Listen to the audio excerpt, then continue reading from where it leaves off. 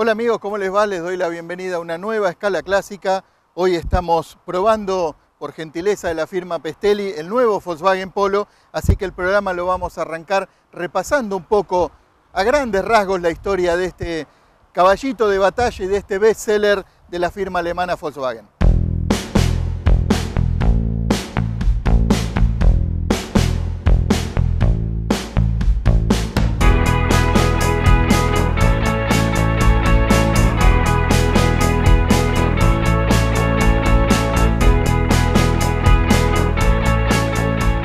Volkswagen Polo comenzó a fabricarse y por ende a venderse en nuestro país a mediados de los años 90, pero para ese entonces ya hacía 20 años que este modelo se estaba fabricando y vendiendo en toda Europa.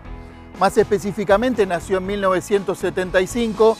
como auto de entrada de gama de la firma Volkswagen, por lo cual remitía mucho su diseño a en ese entonces el bestseller de la firma Volkswagen, el Golf que hacía un año que se había comenzado a comercializar en 1974. El Polo estaba un escalón más abajo e inicialmente solamente se presentó con carrocería tres puertas hatchback, pero como curiosidad también cabe mencionar que se vendía bajo la marca Audi con la denominación de Audi 50, con algunas leves modificaciones y un poquito más de equipamiento. Un tiempo más tarde esta primera generación de Polo agregó una nueva silueta que era una especie de van, cuya diferencia era un portón más eh, vertical con la capacidad de carga interior incrementada. Este primer Volkswagen Polo, con algunas mejoras en el camino, extendió su vida hasta 1981, en que fue reemplazado por el Polo 2. El Polo 2 incorporó nuevas carrocerías, se dejó de ofrecer bajo la firma Audi, también se incorporaron muchas más motorizaciones, más opciones de equipamiento y vivió hasta el año 94 en el año 94 es reemplazado por el Polo 3, que es el polo que empezamos a conocer nosotros los argentinos porque se empezó a fabricar aquí en Argentina en la planta General Pacheco.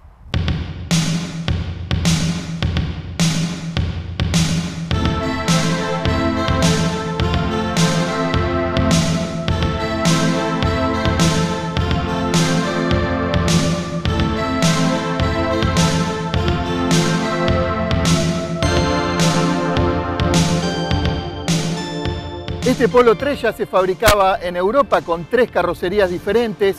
tres puertas, cinco puertas y el Polo Classic con cuatro puertas, una silueta obviamente sedán, que fue la silueta que se comenzó a fabricar aquí en la Argentina.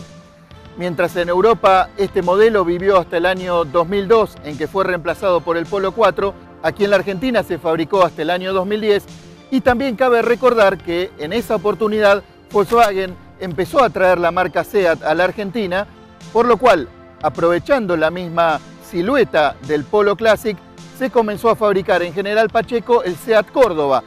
A esto también hay que sumarle las siluetas utilitario del Polo, que eran la Caddy y la Inca, según la marca que se vendiera, Volkswagen y Seat.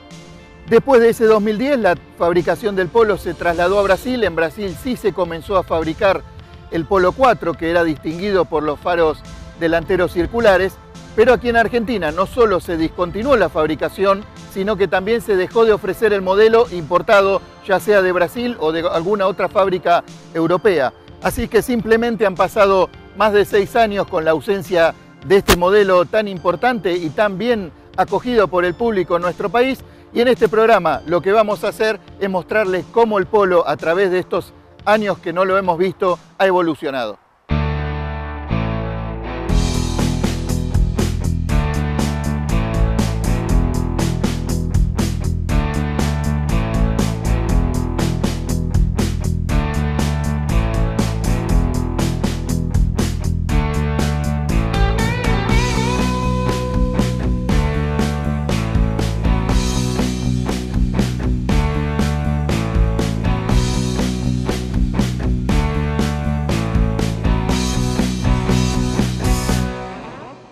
El Polo 4, que es el polo que se fabricaba en Brasil, fue discontinuado en el año 2009 y fue reemplazado por este polo, el Polo 5.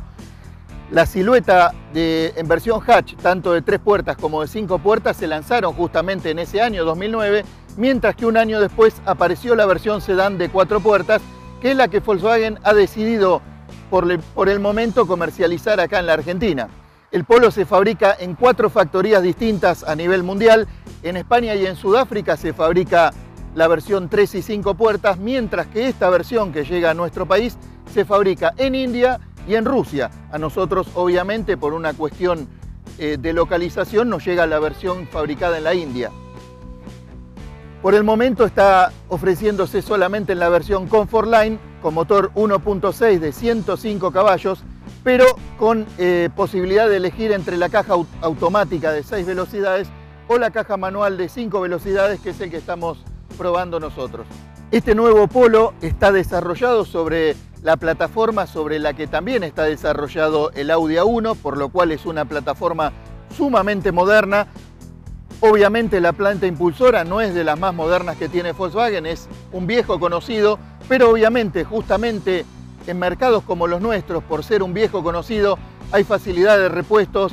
hay facilidad de atenderlos relativamente a bajo costo, por lo cual también es un punto a favor si se lo mira desde esta óptica.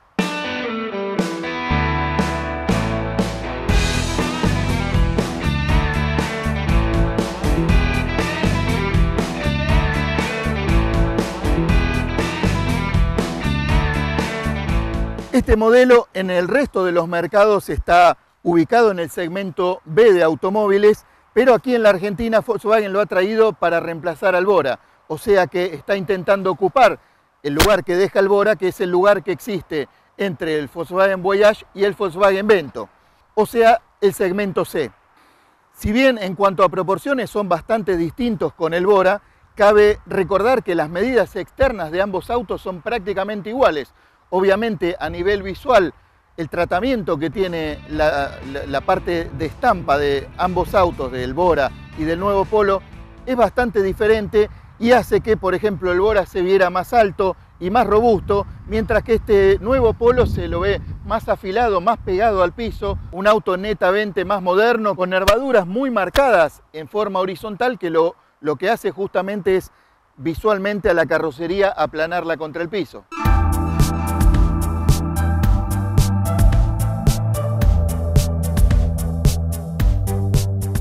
No se vayan. Después de la pausa seguimos con mucha más escala clásica.